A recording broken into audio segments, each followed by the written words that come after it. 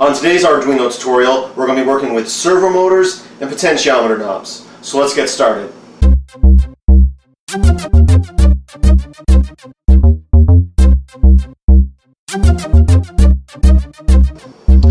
A servo motor is a motor that, unlike uh, traditional DC motors that spin just uh, one direction and then back, uh, a servo motor can be told what point in the degrees that it that you want to turn to so you have a lot more accuracy with a servo motor.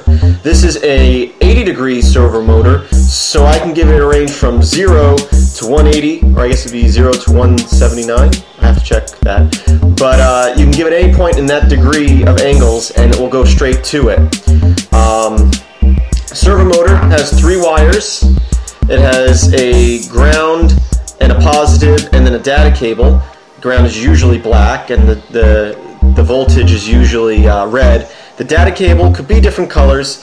Uh, this one here is white. I have one over here, basically the same motor, but it has uh, actually brown for the ground, which is unusual, and orange for the data. Um, so what we're going to do today is take this servo motor, hook it to the Arduino board, along with this potentiometer knob. This potentiometer knob is, as we turn it, it will send a digital signal to the Arduino board, and the Arduino board will relay that to the servo motor. So the number of degrees we turn this knob, it will also turn the motor to that degree. So let's get started. First thing I'm going to do is I'm going to take the potentiometer knob, which has three pins on it, it's going to have uh, the outer pins are uh, and your voltage, while the center pin is your uh, your data. And uh, usually these are labeled. Mine is not really labeled, uh, but I do know that this far one to the right is my positive. So I'm going to put this into my board right here, all three pins, and try not them too much. There we go. Now what I'm going to do is I'm going to take my Arduino board and I'm going to hook, I'm going to take a red wire and I'm going to go from the 5 volts here on the board to the 5 volt pin on the potentiometer knob. Now I'm going to take um, the ground, I'll take this black ground wire and I will put this into the ground on the board, and then this to the ground on the potentiometer, which is the pin all the way to the left there. I am now going to take this yellow cable, and I'm going to put this into analog zero. This is going to be reading the information from the potentiometer knob, and I'm going to connect that to the center pin on the uh, potentiometer here on my breadboard. There we go. So now we got where we can get power to the potentiometer knob and read the information from it. Um, now we're going to hook up our servo motor. And uh, servo motors usually have little connectors like this, uh, and you can get adapters for them, cut them. I'm just going to, in this case, uh, put some wires in there. So I'm going to put a red wire right in there. These are just wires with a little uh, a bit of the wire hanging out there so I can shove them in there. I'm going to put a black to my ground here, and I'll use this orange cable for my data. So I'll show you that real quick, right like that. I just connected the wires like so. So now I can take this ground, I'm going to put that into a empty ground pin on my Arduino here, uh, which would be right here there's two ground pins on the far side of the board. Now, I don't have another 5 volt because I'm not using uh, my Proto Shield. I can just take this uh, 5 volts and connect it here on the 5 volts on my uh, breadboard and just use the 5 volts that's also going into the potentiometer knob. Now I'm going to take um, my data cable from my uh, servo motor and I'm going to hook that into pin digital 9. And the reason I'm using pin digital 9 is because the default example for uh, servo motors with knobs uses pin 9, although you could use other pins as well.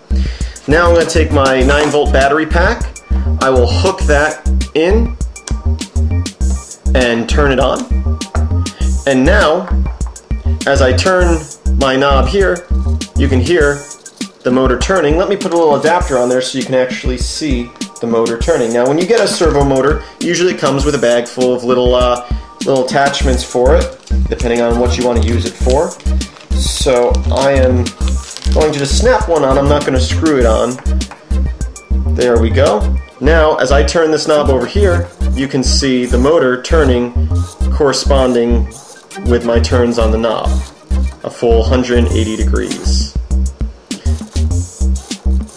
Let's take a moment and look at the code for this uh, project.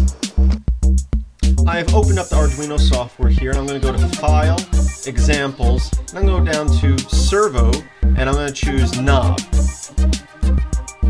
And this is the example code for the project which is built. This include is going to include the, uh, the module file for the servo motors. This takes out a lot of the work that you have to do to get a servo motor work. Somebody has already put that together for you to keep your, your code short.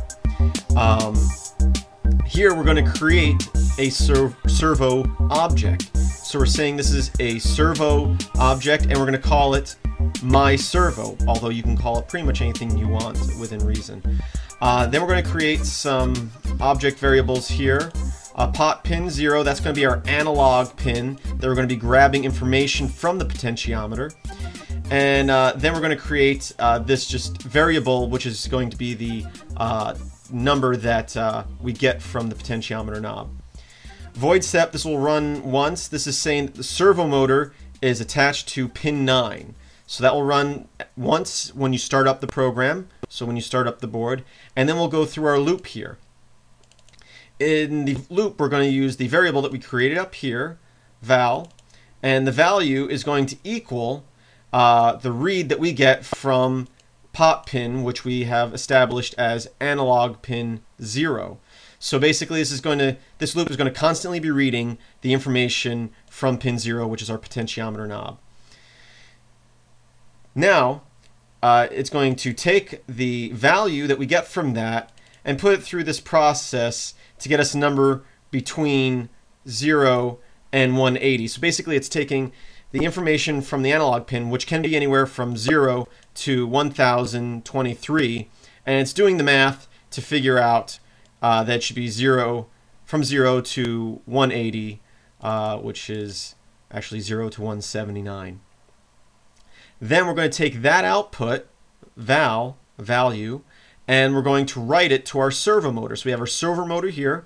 We're going to write, and we're going to write that value. And we already established that our servo motor is attached to pin 9.